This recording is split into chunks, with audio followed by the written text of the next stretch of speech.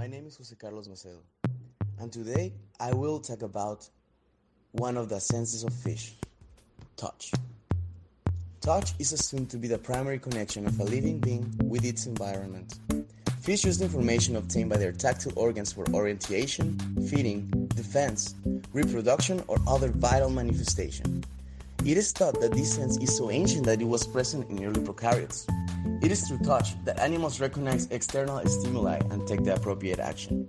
Tactile sense is an orchestra of reactions performed every time the skin, subcutaneous tissues, and superficial mucosa encounter a mechanical difference in the environment. This can either be pain, which is called nociception, temperature, which is called thermoception, or position, which determines movement in space. Fish use specialized cells or receptors that are situated in the skin and mucous epithelial envelopes. These cells are nerve endings coming from the spinal cord. These may be encapsulated on myelin or Schwann cells depending on the type of variable it identifies. These, can, these receptors are categorized depending on the speed at which they are stimulated. This can be the Pacini corpuscles, which are conformed by cells that surround a nerve ending, perceive brief mechanical stimuli sufficient for the formation of skin by 1 micrometer only detects vibrations from 200 to 400 hertz.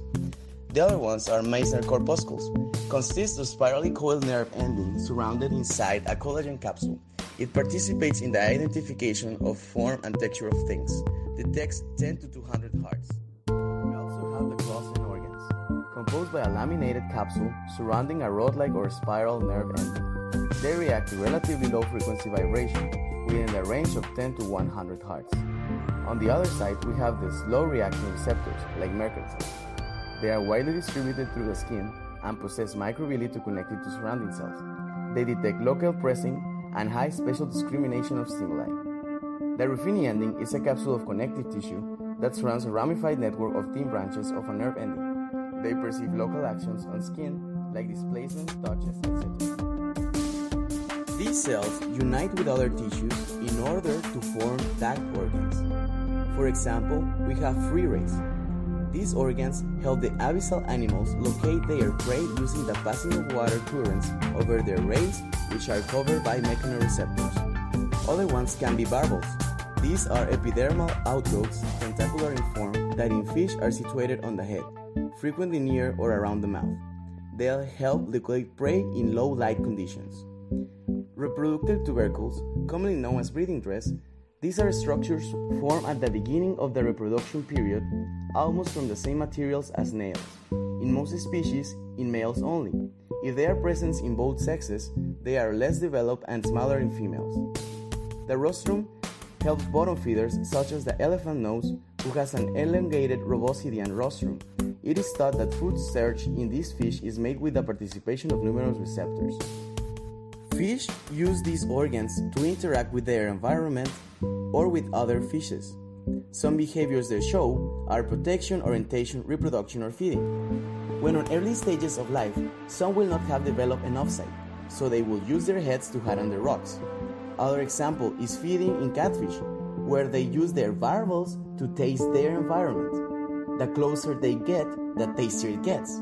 Usually they will follow other peers looking for the same.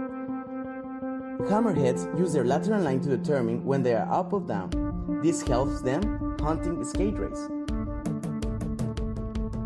On the reproduction example, we have seahorse Hippocampus guttulatus. The spawning behavior comprises a breeding dance or so-called carousel swimming when a pair of seahorses turn around and being pressed to each other ascend above the bottom. Having reached the top of the ascent, the female introduces the end of the genital papilla into an opening of the incubator pouch of the male and lays eggs.